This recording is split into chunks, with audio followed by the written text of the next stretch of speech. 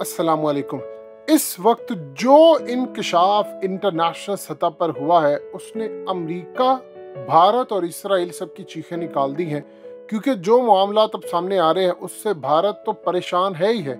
लेकिन अमेरिका के लिए भी अब खतरा पाकिस्तान बनने वाला है। असल में आप जानते हैं कि एस फोर हंड्रेड भारत ने लिया है, और उसकी रेंज है 400 किलोमीटर, यानी वो 400 किलोमीटर का मतलब और आप मोदी से कुछ भी एक्सपेक्ट कर सकते हैं। कि वो अपने पंजाब में लगाए, वो अपने सिंध में लगाए, चाहे वो राजस्थान वाली साइड पाकिस्तान के साथ जो लगती है, वहाँ पर लगाए, या फिर वो किसी भी तरह पे कश्मीर वाली साइड पर लगाए, लद्दाख में लगाए।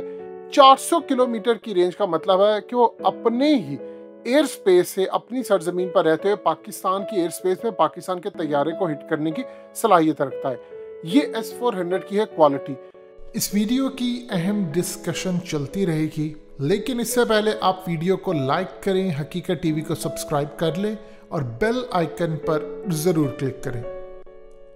एक senior fellow international assessment and strategy centre के जो अहम तरीन शख्सियत हैं थिंक टैंक चलाने वाले, डॉक्टर रिचर्ड फिशर, इन्होंने जो इंकशाफ किया है, वो भारत की चीखें निकालने के लिए काफ़ी है। यानी आप समझ लीजिए, पाकिस्तान की निकल आई है lottery. S four hundred Bharat को मिला है, लेकिन लॉटरी निकली है पाकिस्तान की। इन्होंने कहा है, चूँकि एस फोर हंड्रेड एक थ्रेट है, लिहाजा इस सूरत हाल में चाइना ने अब फैसला ये किया है कि गालिबन पाकिस्तान को वो हाइपरसोनिक मिसाइल देने जा रहे हैं। जी हाँ ये वही हाइपरसोनिक मिसाइल जिसकी हालिया इतनी गूंज रही, अमेरिका के अंदर पूरी दुनिया में चीखें मच गई कि चाइना ने हाइपरसोनिक मिसाइल का तजर्बा किया है। और साथ ये भी कहा गया कि जो हाइपरसोनिक मिसाइल है, आवाज़ की रफ्तार से छः गुना ज़्यादा है। दुनिया के किसी रेडार पर डिटेक्ट नहीं होता। दुनिया का कोई भी ऐसा रेडार कोई सिस्टम नहीं है जिसको डिटेक्ट कर सके। और ना ही किसी में इतनी सलाहियत है कि वो इसके करीब आ सके। जितनी देर में उसे डिटेक्ट करना है, उतनी देर में ये हमला करके निकल भी जाएगा, या तबाह कर देगा। यानी आप समझ लें कि आवाज़ की रफ्तार से छः गुना ज़्यादा क्या उसकी क्वालिटी है। और इसके साथ एक इंटरेस्टिंग सूरत हाल है कि हालिया अमरीका ने इसको पूरी तरह वॉच किया है। असल में जो इस वक्त पूरी दुनिया के अंदर सबसे बेहतरीन हाइपरसोनिक है, या दूसरी चीज़ें हैं, ये काम ये करते हैं कि देखिए, एक तो आपने बैलिस्टिक मिज़ाइल होता है, आपने मारा किसी को भी, और उसके बाद वो तबाह हो गया, या आपने उसको रोक लिया या कुछ हुआ। ये असल में काम करता है कि ये आप उसका रुख चेंज कर सकते हैं। यानी एक जगह से और हालिया जो, जिस तरह एयरक्राफ्ट जो गाड़ी थी, एक खलाई उसमें इस मिसाइल को रख के जिस तरह पूरी दुनिया का चक्कर लगवाया गया और इतनी सलाहियत है चाइना के पास कि वो हवा में रखे और छः महीने के बाद किसी पर हमला कर दे। यानी ये पहला मिसाइल है कि आप छोड़ते हैं, हवा में रखते हैं। अब वो चीज़ें कि बैलिस्टिक मिसाइल और ये फलाना, ये वो, ये तमाम चीज़ें अब होती जा रही हैं पुरानी। अब आ रही है टेक्नोलॉजी। इस शख्स को आप कोई छोटा मोटा शख्स ना समझिए। ये अमेरिका का बेहतरीन थिंक टैंक चलाने वाला शख्स है। ये अमेरिका की कांग्रेस में जाता है और वहाँ पर जाकर क्लियरली बताता है कि क्या खतरा है चाइना से, उसकी कैपेसिटी क्या और कांग्रेस के सामने जाकर पूरी तरह एक एक चीज़ वाजिया करता है। यानी आप सोच रहे हैं जहाँ पर उनका आर्मी चीफ जाकर एक्सप्लेन करता है, ये भी वहाँ पर जाकर बताता है। अब ये शख्स, इसने एक और बड़ी गुफ्तगु की जो कि बड़ी इंटरेस्टिंग है। इसने कहा कि इस वक्त चाइना ने प्लान किया है कि या तो वो पाकिस्तान को हाइपरसोनिक मिसाइल देगा, अपना डी एफ़ सेवनटीन जो कि अब तक का चाइना का सबसे एडवांस है। यानी आप समझ लीजिए, इससे बेहतरीन कोई नहीं हो सकता हालिया। जितने भी मिसाइल सामने आए या उसके अलावा। उसका एक ऐसी ऑप्शन है कि नॉर्थ कोरिया को कहे चाइना, चूँकि नॉर्थ कोरिया के आप जानते हैं, ताल्लुकात चाइना से कितने ज़बरदस्त है। और ख़ास तौर पर किम जोंग को आपको नज़र आते हैं, उनका हालिया जो उन्होंने अपना वेट कम किया, बहुत ज़्यादा वेट कम करने के बाद उन्होंने कहा, पूरी मुल्क के अंदर जो हालात और चीज़ें चल रही हैं उसमें मुझे वेट कम इसलिए करना पड़ा है क्योंकि मुल्क में खाने का मसला, यानी इकॉनमी उनकी ठीक नहीं चल रही कई दफ़ा माफ़ी भी मांग चुका है। लेकिन उसके बावजूद किसी भी सूरत, वो अपने मुल्क में कोई भी दिफाई मामला पे पीछे हटने को तैयार नहीं है। और चाइना का आप जानते हैं कि जब हालिया किम जोंग को हार्ट अटैक हुआ था तो चाइना ने अपने डॉक्टर्स भेजे थे और वहाँ पर जाकर उनको स्टेबिलिटी दी थी। अब वो चाइना के शुक्रगुजार है और वो कह रहे हैं कि नॉर्थ कोरिया को वो कहेंगे कि पाकिस्तान को आप बेचें चीज़ें। यानी हाइपरसोनिक मिसाइल जो नॉर्थ कोरिया ने हालिया टेस्ट किया था, वो कह रहे हैं कि चाइना प्रेशर देगा, नॉर्थ कोरिया पर उसको ऑर्डर देगा कि आप ये पाकिस्तान को बेचें? अब सवाल ये पैदा होता है कि क्या नॉर्थ कोरिया जो ऑलरेडी ब्लैक लिस्ट में है, जब वो बेचेगा तो पाबंदियाँ नहीं लगेंगी पाकिस्तान पर? हालिया आप देख लीजिए कि यूनाइटेड नेशन में अमेरिका ने पाबंदियाँ लगवाने की कोशिश की नॉर्थ कोरिया पर, जिसको चाइना ने और रशिया ने वीटो कर दिया।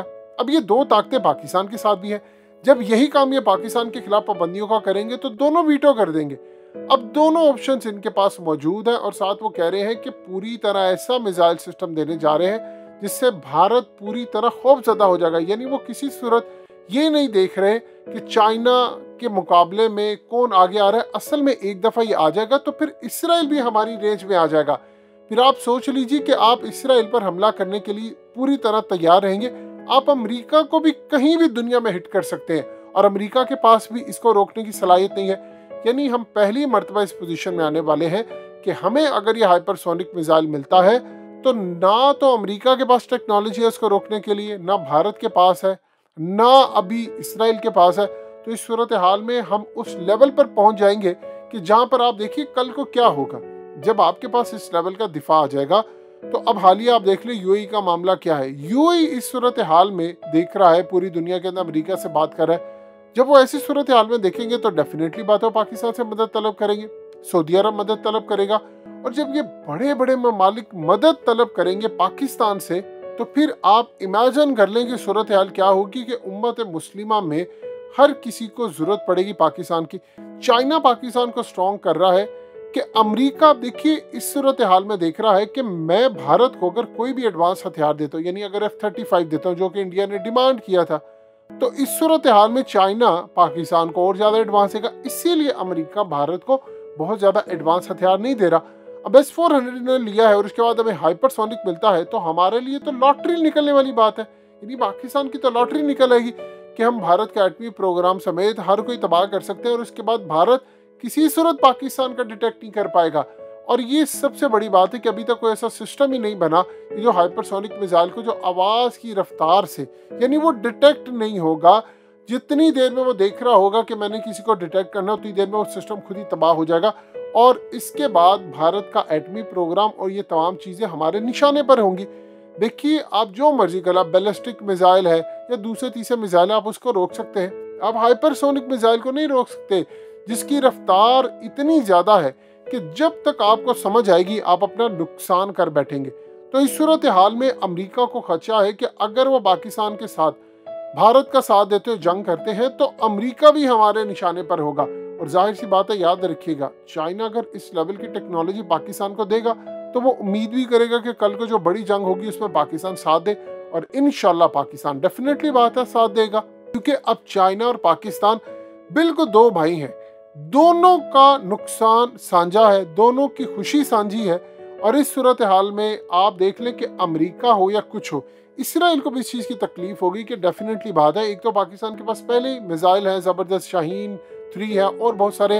अगर हाइपरसोनिक मिज़ाइल मिल जाता और कल को खुदा ना आसा मस्जिद अक्सा के खिलाफ कोई कार्रवाई करने की कोशिश करते हैं तो इसराइल भी डिटेक्ट नहीं कर पाएगा। और इनशाला उम्मीद है कि पाकिस्तान लीडिंग पावर के तौर पर उभरेगा।